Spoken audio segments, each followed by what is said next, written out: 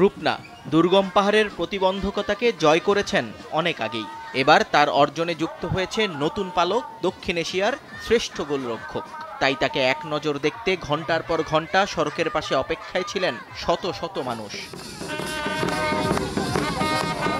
বয়সের বাধা পেরিয়ে বাদ্যের তালে নেচে গেয়ে সবাই বরণ করে নিয়েছেন এই বাঘিনীকে। গ্রামের মেঠো পথ বাঁশের সাঁকো পেরিয়ে ছুটে চলা মানুষের গন্তব্য ছিল ভুইয়াদাম গ্রাম। সংবর্ধনা শেষে সেই চেনা পথে নিজের জীর্ণ কুটিরে আসেন রূপনা। মায়ের হাতে তুলে দেন তার শ্রেষ্ঠত্বের পুরস্কার।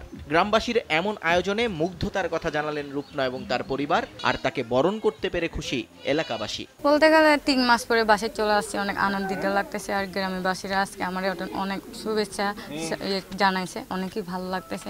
বহুত দিনে ঠাই করা দিচ্ছে মতন কম লাগছে ঠাই ওই এলাকাবাসীর ইয়েও ওই মতন সে বহু খুশি লাগছে। আমাদের অঞ্চল থেকে যে একজন এভাবে দক্ষিণ এশিয়ায় গিয়ে সেরা গোলরক্ষক হবে সেটা আমাদের জন্য খুবই গর্বের ব্যাপার। পাহাড়ি এলাকার মেয়ে হয়ে যে এত বড় একটা সুযোগ পেয়েছেন এবং খেলা খেলার পরে এত বড় একটা যোগ্যতা অর্জন করেছে। রূপতা চাকমা হচ্ছে আমাদের গ্রামের গর্ব।